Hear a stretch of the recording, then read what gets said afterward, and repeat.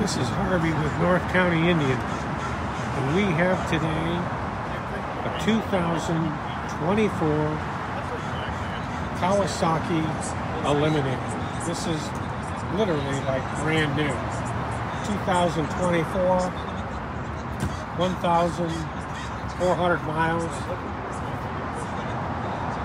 It's all there. The only thing missing is you riding this thing and it is wonderful. I'll tell you what, it's, it's great fuel economy. You can, it's got power for the freeway. It's a good all-around bike.